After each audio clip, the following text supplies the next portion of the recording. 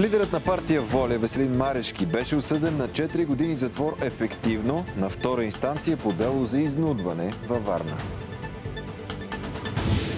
Само след часове училищата отварят за 717 000 ученици. За първи път под заплаха от коронавирус. Някои ще празнуват виртуално, други с бидони за вода. Как ще бъде пазено здравето на учениците? Гърция се превъоръжава заради конфликта и с Турция в Средиземно море. Анкара прибра кораба си, който търси газови находища в гранични води, но коментира, че това не е отстъпление и очаква ответен жест.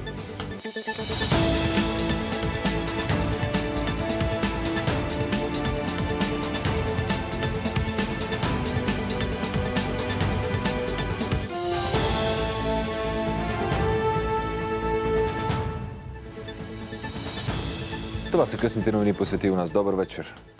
Голям пожар гори между областите Стара Загора и Хасково. Гасят го от часове, но той продължава да се разраства. Имаме екип на място. Включваме Десислава Петкова. Здравей. Има ли опасност за населени места? Добър вечер. Към момента няма никаква опасност за населените места и хората, въпреки че ситуацията тук е много динамична. Духа много силен вятър, а огънят е в трудно достъпна местност. Гори Борова гора, Шерохолисна гора, храсти и треви. Днес в гасенето се включи и хеликоптер, но въпреки това огнеборците не можаха да се справят с стихията, която гори само на метри от транспортните ленти на един от трудниците на мини Марица Изток, област областния управител на Стара Загора поиска допълнителна помощ за справянето с пожара тук през целия следобед и към момента тежки верижни машини на мини Марица Изток проправят просеки, за да не прехвърли огънят от гората към населените места. Над село Полски градец е малко задимено, но няма опасност за хората, а борбата с пожара продължава и тази нощ. Ние оставаме на място, за да следим ситуацията. Благодаря Десислава Петкова и оператор Иван Янев на живо от гасенето на пожара между Стара Загора и Хасково. Другото важно днес. Лидерът на партия Воля Веселин Марешки получи 4 години затвор ефективно от апелативния съд във Варна по дело за изнудване. Той ще трябва да плати глоба от 8000 лева. Това е решение на втора инстанция и може да бъде обжалвано на трета. На първа инстанция окръжния съд оправда Марешки. По същото дело сега е осъдена и бизнес дамата Красимира Колева на 3 години и 6 месеца затвор и глоба от 6000 лева. Двамата са признати за виновни, че в продължение на месец през 2014 година са изнудвали собственика на пицария във Варна, Асен Миланов, като си искали да плаща всеки месец по 10 000 лева заради даден заем от 65 000 лева. Според обвинението, бизнесменът е заплашван, че заведението му ще бъде разрушено, а бизнесът му преустановен. Апелативният съд ще обяви мотивите си за присъдата в двумесечен срок. В позиция до медиите Веселин Марешки заяви, че не е извършвал никакво престъпление и няма никакво притеснение. Смята, че моментът за постановяване на тази присъда е подбран умишлено, за да може в Европейския доклад на 23 септември да се посочи, че България много успешно вече осъжда така наречените олигарси или хора с бизнес, които прокуратурата обявява за такива и че явно им е много удобен в момента. Цялата позиция на Марешки може да намерите на сайта ни. Протестите продължават. 68-ми ден в София. Исканията са добре познати. Оставка на Борисов и Гешев, въвеждане на машинно гласуване и промени в Конституцията. Протестиращите се събраха в 19 часа в района на площад Независимост. Час по-късно движението пред БНБ беше блокирано от камиона с звучителната техника на отровното трио. И тази вечер на фасадата на Народното събрание бяха излъчени телевизионни интервюта с министри депутати и с премиера Борисов. По традиция протестиращите шестваха до Орлов мост, където блокираха кръстовището. От СРС обявиха, че партията им за първи път не участва в протестите, защото нямат никакво намерение да връщат БСП на власт. И коментираха, че консолидирането на гласовете в дясно е изключително важно за парламентарните избори. Представители на десни формации, политолози и социолози обсъдиха ролята на българските дясноцентристски партии преди предстоящите избори в рамките на кръгла маса, организирана с подкрепата на фундация Конрад Аденауер. Държавата предлага за до година прагът на бедност у нас да е 369 лева, като ръстът е с 6 лева спрямо тази година. По данни на Евростат през 2019 с доходи под линията на бедност са били повече от 1 милион и 300 хиляди българи, или това е 18,6% от цялото население. По време на днешното заседание на съвета за тристранно сътрудничество, работодатели и синдикати настояха да се удължи мярката 60 на 40 и след 1 октомври. Социалният министр Деница Сачева отчете, че мярката е довела до изсветляване на економиката и запазване на заетостта. До момента по тази мярка са изплатени повече от 185 милиона лева, като най-много средства са отишли в секторите преработваща промишленост, търговия и ремонт на автомобили и мотоциклети, хотелиерство и ресторантьорство. Настъпва 15 септември. Само след часове училищата отварят за 717 000 ученици. За първи път под заплаха от коронавирус. Предстои непредвидима учебна година по оценка на министра на образованието. Учебните занятия започват присъствено, с маски в общите помещения, но не и в клас. Очаква се едва около 300 деца да изберат да се обучават електронно от вкъщи по различни причини.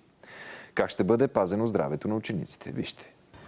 Столичното 125-то училище е едно от големите с около 1500 ученици. Утре тържеството ще бъде кратко и само за първи, пети и осми клас. Родители на първи клас са помолени да бъдат само по един човек в двора.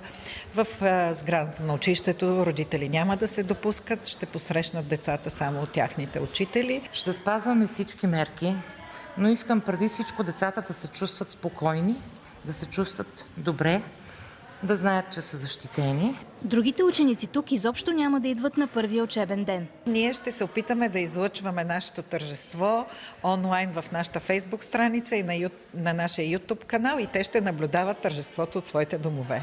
Като голямо училище тук са взети много мерки. Ще има стикери за спазване на дистанция, всеки клас ще е в своя отделна стая. Родителите са помолени да приготвят закуска и обяд, за да не ходят децата в стола. И най-важното – да не водят болни децата в училище.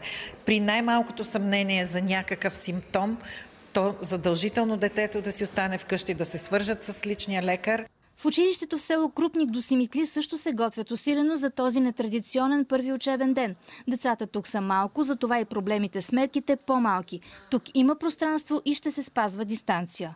Двора ни е огромен. Там просто няма как да не се спазват изискванията, без да чертаем полета. Нека родителите да бъдат спокойни. Децата ще бъдат в добра и чиста среда.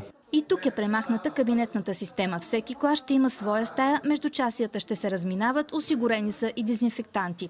В училищния стол на Варненското училище на Еденгеров, който не работи, пък са обособени три помещения за изолация на учениците с симптоми. Част от работата ни, разбира се, когато имаме възможност, ще е да оставаме с ученици, при които е открита симптоматика. Ако преподаватели в училището се заразят с коронавируса, часовете им ще поемат техни колеги. В същото време са създадени вече виртуалните класни стаи и учениците ще могат, ако се наложи да излязат в карантина, да си провеждат занятията. Днес директори коментираха притесненията си училищата да преподават и на деца, избрали да учат в самостоятелна форма електронно от вкъщи и да провеждат хибридно обучение. Няма как да бъде осъществено. Не може учителя да преподава на 20 деца в класа, да има контакт с тях и в същото време да контактува и с други, да речем, пет, които се намират в тяхните домове. Заявления се подават в момента, като според министър Красимир Вълчев по първоначална информация тези ученици били около 200-300. Няма как учителя да осъществява ефективно двупосочно взаимодействие в две среди, в реалната класна стая в електронна среда. Е, той ще продължи да се преподава на учениците в часа. Децата, избрали тази особена дневна форма, ще могат да се включат в е, училища центрове за дистанционно обучение като вид компенсаторна мярка. Тези деца ще имат и право на консултация с преподаватели от своето училище, като учителите ще получават по 15 лева на час за допълнителната си работа. Преди първия учебен ден родители и учители протестираха срещу носенето на маски в училищата. Те се обявиха и срещу обособените изолатори при симптоми на COVID-19. Родители в София, които са против носенето на маски през новата учебна година, протестираха пред просветното министерство. Техният призив беше не на маските и изолаторите в училище. Децата, колкото и да ги обичам, колкото и да ги защитавам, те в отношенията са жестоки едни към други. Едно дете, посетило веднъж изолатора, може да бъде нарочено от целия клас и обект на подигравки дълго време. Протестът в Бургас започна от сградата на регионалното управление по образование. Освен родители, част от които бяха с децата си, в протеста участваха и учители, които също не са съгласни с мерките. Според тях най-големият проблем ще е при уроците по четене. То не му се разбира и когато няма маска, камо ли с маска, като я сложиш, то е страшна работата. То въобще това са някакви безумия, дето ги правят. Недоволни се събраха и в Благоевград. Там предстои да бъде направена анкета във всички училища, дали родителите одобряват носенето на маски. Според учители обаче отпадането на предпазните средства крие големи рискове. Неспазването на елементарни мерки ще доведе до множество случаи в училищата и ще преминем към дистанционно обучение далеч по-бързо, отколкото това би се случило при елементарни мерки. От своя страна, министърът на образованието заяви, че у нас са въведени едни от най-либералните режими в сравнение с останалите държави. Все пак децата ще носят маски по-малко 10% от времето, по-малко от половин час дневно. В общия случай препоръчваме да не прекарват много време в общите помещения и най-вече в коридорите. Здравни и образователни експерти ще обсъдят дали има възможност маските да станат препоръчителни, а не задължителни. В сигнал до БНТ се твърди, че три готвачки от 88 детска градина, столичния квартал Дружба, са имали изявени симптоми на коронавирус, но не са се тествали и са продължили да ходят на работа. Днес вече целият персонал е изследван, резултатите се очакват утре. Заместник медът по образование на столичната община Тодор Чубанов потвърди за случая и каза, че ще се потърси дисциплинарна отговорност на виновните, ако има такива. Сигналът за заразените с коронавирус служители е изпратен от родители. В писмото си те твърдят, че не се взимат навремени мерки и че служителите са идвали на работа с изявени симптоми. Кмета по образованието на столичната община също отправи критика към детската градина ще потърсим най-вероятно на тези хора дисциплинарна отговорност, особено на единия служител, който е било ясно, че има изявени симптоми и не се е тествал. По молба на БНТ, от столичната регионална здравна инспекция извършиха проверка по случая. От изпратения имейл стана ясно, че на 8 септември в РЗИ е получена информация за работник в кухненския блок на детското заведение, който е поставен под карантина, защото е контактно лице на положителен случай в семейството. Още на другия ден служителката е тествана с PCR тест, като още от 4 септември тя не е идвала на работа. Положителният резултат излиза на 10, а от Рези уточняват, че жената е без симптоми и е поставена по 14-дневна домашна карантина. След това с PCR тест са изследвани още 4 лица от кухненския персонал, като положителни са още две жени. Отново без симптоми. На практика почти целия персонал изследвахме, като това го направихме, за да бъдат максимално спокойни нашите родители. Да, имаше родители, които се обадиха по телефона, а, за да се посъветват дали сега да пуснат децата си или тези, които имат възможност да ги задържат малко. Директорката също е категорична, че не е имал служители с симптоми. Родителите са спокойни, защото в детската градина се предприемат всички противоепидемични мерки. Не се притеснявам. Ще си пускате детето? Да, да, ще го пускаме, разбира се. Той беше 6 месеца в къщи, така че нямах вече кой да го гледа. Това са нещата от живота. Ние се движим сред хора. Постоянно, да. Градината работи нормално, затворена е само кухнята, храната се приготвя и доставя от друго детско заведение. Всички училища в момента полагат усилия, за да се предпазят от коронавирус, но възможностите са различни. И четирите училища в Омуртак, например, започват новата учебна година без вода. За да отговорят на елементарни хигиенни изисквания по време на COVID-кризата, за учениците са осигурени бидони с вода. Градът е на воден режим повече от 30 години. В основно училище Даки Йорданов в Умуртак утре ще влязат 230 деца. Те отново ще са без вода. Пуска се само вечер, когато класните стаи са празни. Чешмите отдавна са превърнати в цветарници, защото не се използват по предназначение. За да могат да спазят всички правила за хигиена, в училището водата ще тече от бидони. По време на всяко междучасие тук ще има човек, който ще помага на децата. След измиване на ръцете, ръцете им ще бъдат дезинфекцирани, тъй като за съжаление, топла вода, когато няма студена, не можем и ние да осигурим. Такава е ситуацията в цяло Мортак, а през лятото пресъхнали и чешмите с изворна вода. Много е трудно с туби, носим вода, други слагат хидрофори. Всеки търси някакво спасение. В училището потърсили спасение и в изграждането на хидрофорна система, но фирма ги подвела, че до началото на учебната година ще я инсталират. Сега им обещали да стане готова до края на септември. Там обаче опасността пък идва в това да не започнат да я пият децата, тъй като тече от чешмата. Тогава пък вече ще провеждаме други инструктажи, че водата е негодна за пиене. Добрата новина е, че макар и по-късно, тогава вече ще има и топла вода. Традиционно КАТ повишава вниманието и засилва проверките около детските градини и училищата. Там, където има нужда, ще бъдат издавани предписания за освежаване на маркировката и поставяне на нужните знаци. От четвъртък до 22 септември започва и седмица за безопасността на децата на пътя. Ще бъдат проведени срещи с директори на училища, детски градини и с родители. Нов етап от кризата между Гърция и Турция в Средиземно море. Анкара прибра кораба си, който търси газови находища в гранични води, но коментира, че това не е отстъпление и очаква ответен жест. По-рано гръцкият премьер Мицотакис определи връщането на кораба като стъпка в правилната посока. Анкара увери, че нейният морски съд скоро ще поднови работа и прикани Атина да се откаже от максималистичните си искания около района с вероятни газови залежи. Корабът Оро Чрейс е край пристанище Анталия за поддръжка и зареждане. Това са рутинни действия и не трябва да се възприемат като отстъпление, заяви турският външен министр Мевлют Чавушоглу. Според него други турски морски съдове продължават сондажите си за газови находища в източната част на Средиземно море. Турският първи дипломат коментира евентуални санкции, които Евросъюзът обяви, че подготвя срещу Анкара. Честно казано, не очаквам решение за санкции на срещата на 24 и 25 септември, но това не е изключено. Може да е срещу наш кораб, наша компания или отделни лица. Вземали са такива решения преди, но това само е засилвало нашата решителност. Под максималистични претенции на Гърция, Анкара разбира така наречената карта от Севиля. Тя е изработена в началото на новия век от университета в Севиля за нуждите на Европейската комисия. Картата поддържа правото на Атина да експлуатира природни ресурси около гръцките острови, разположени в близост до турския бряг. Според турската страна това я лишава от десетки хиляди квадратни километра акватория. Напрежението между двете съюзнички в НАТО нарасна през август, когато те проведоха враждебни военни учения в източното Средиземноморие. Както вече казах, епилогът на провокациите трябва да предшества пролога на преговорите. Турция призова Съединените щати към неутрална позиция по Кипър. Преди дни Вашингтон подписа с Никозия меморандум за създаване на Център за сухопътна морска и пристанищна сигурност и предприе стъпки към отмяна на уражението ембарго за кипърските гърци.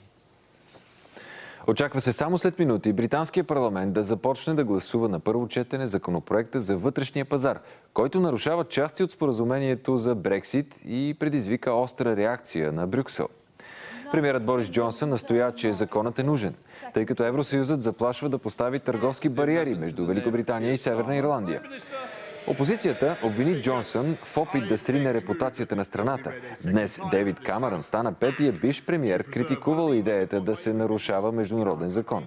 Същото направиха консерваторите Тереза Мей и Джон Мейджер и лейбористите Тони Блеер и Гордон Браун.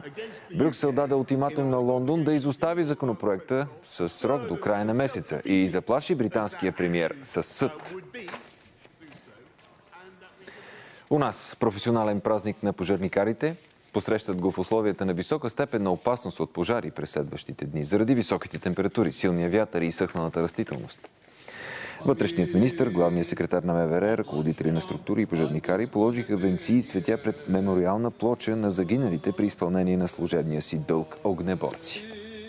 Това доверие в обществото извоювано с много тежък труд и с преборване на много предизвикателства, защото на всеки 10-12 минути а, чрез всички канали, чрез 112 постъпват сигнали, на които вие сте нужни и длъжни да реагирате.